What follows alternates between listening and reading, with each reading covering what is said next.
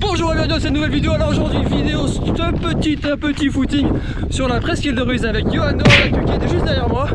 Donc je vais pas beaucoup parler, je vais juste vous montrer les paysages qu'on va traverser parce que là, il y a de quoi faire. Ça vaut le détour. Regardez juste ça.